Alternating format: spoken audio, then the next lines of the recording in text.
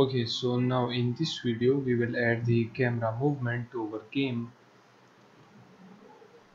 So we want our camera to be continuously following the player object.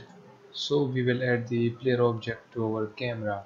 So it will give a feeling that the player is moving but actually the player will be standing still. The only thing that will be moving is the camera. So first let's just create a new C sharp script in the scripts folder and we will name this as camera movement and let's just open it. So right here we don't need the start function so we will simply remove it.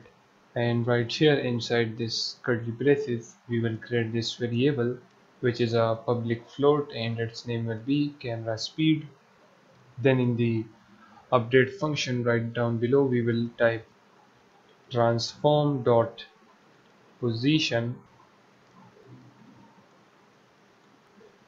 then I will type plus and then equals to new right here we will add a vector 3 so we will simply multiply the camera speed by the time dot delta time make this t capital.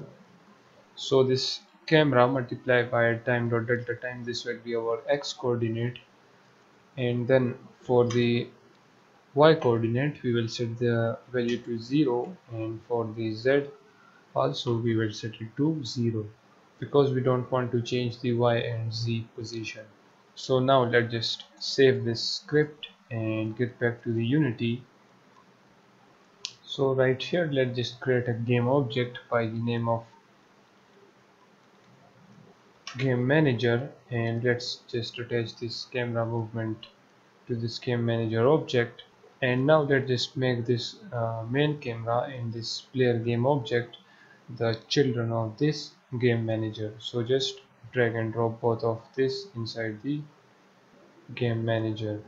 Now let's give this camera speed a value. For example let's just give it as 14 let's just start the game